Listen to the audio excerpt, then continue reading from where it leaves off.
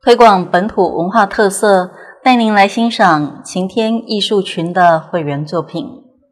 艺术千秋事，星火古今传。斯文方代正，未许至晴天。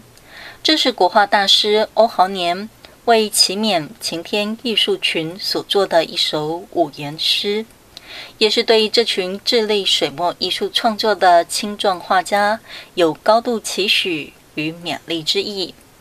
欧豪年大师祈勉会员们，将传统水墨艺术，包含国画、书法、篆刻等优良文化发扬光大。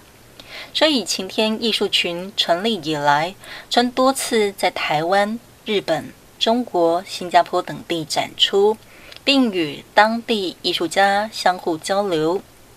在资讯发达的现代，我们可以借由各种方便的传播媒体。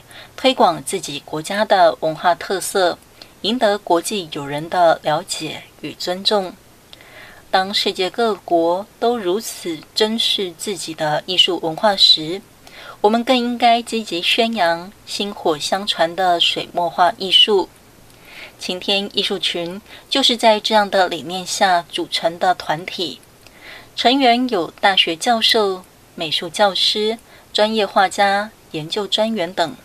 他们的作品风格极具特色，广为各地美术馆及水墨画的爱好者所收藏。